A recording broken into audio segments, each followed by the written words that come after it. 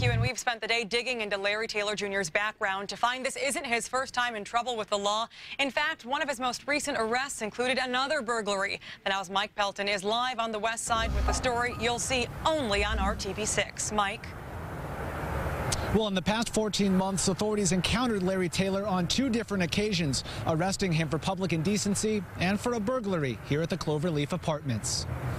18-year-old Larry Taylor has two different run-ins with police. Most recently, in June of this year, prosecutors charged him with public indecency and public nudity. According to court documents, Taylor is accused of driving around in a car with his genitals out, exposing himself to a woman in this Nora parking lot near 86th Street and College Avenue. Officers met up with Taylor on that evening in June as he continued to drive around the Nora parking lots. He broke in and stole some stuff. Crystal Smith also had a near encounter with Taylor. She lives at the Cloverleaf apartments on the west side, where a police report indicates Taylor was one of three suspects in a burglary in September 2014. The suspects entered a second floor apartment only to find a teenager inside. There was no yelling or anything, all except them running up and down the steps. Larry Taylor was a juvenile at the time of the burglary. Smith has since lived in fear those who broke into her neighbor's place would come back, but never imagined authorities would later accuse one of the suspects, Taylor, in the high profile murder of Amanda Blackburn. He's sick. He's capable of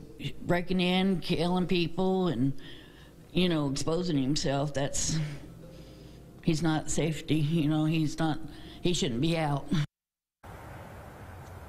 And court records show that in terms of the public indecency charge from the Nora parking lots, Larry Taylor is scheduled for a pretrial conference in that case on December 1st. For now, we're live on the west side for the Now Indy Mike Pelton, RTV6.